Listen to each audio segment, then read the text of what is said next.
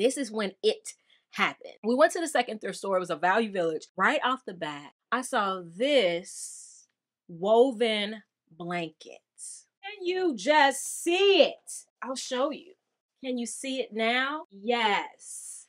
That's gonna be a dress or something, something. This was only 629 Canadian. Throughout the rest of the day, every store that we went to was blanket palooza. It was it was giving. It was raining blankets. So you already see what the next collection is gonna look like.